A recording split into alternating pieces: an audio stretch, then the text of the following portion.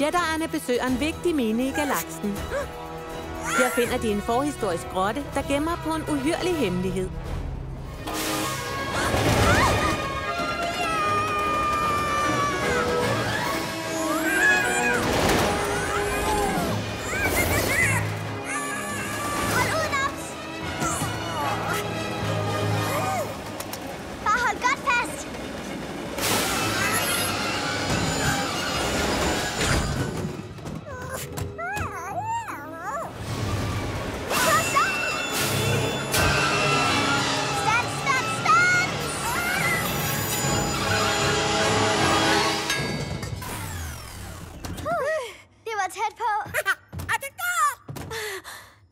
Til, og vi kom ned i opalgrotterne. Oh, utuanske opaler. Dem har jeg ikke set længe. Se!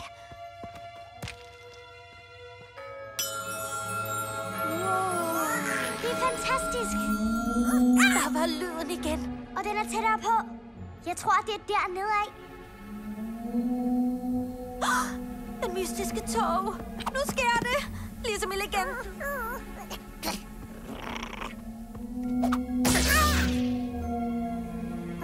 Betyder det, at skyggemonsteret fra legenden virkelig findes. Legende eller ej, så må vi finde ud af det. Kom med. Ah!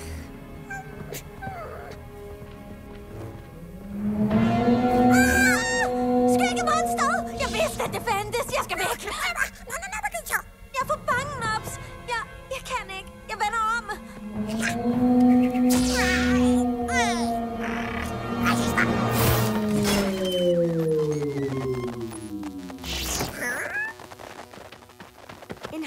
Højtaler. Og det er den her, der laver togen. Og jeg tror, vi har fundet monsteret.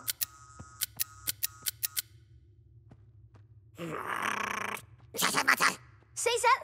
Legenden passer ikke. Jeg vidste, at der var en forklaring. Men altså, hvem har lavet alt det her? Ja, der er nogen, der snakker. Jeg troede, at vi var de eneste hernede. Det gjorde jeg også.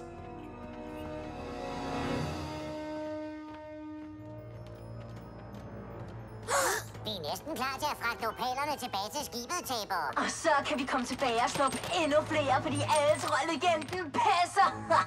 Og vi har kun brugt en røgmaskine, en højtaler og noget gammelt skrot, der skal ligne et skyggemonster. En genial plan, hvis jeg selv skal sige det. tak, EB3. Min plan var virkelig genial, var den ikke? det var min plan. Nå, bare glem det. Og sådan overkom de unge Jedi'er deres frygt og løste minens mysterium. Nogle gange må man tilsidesætte sin frygt for at finde ind til sandheden.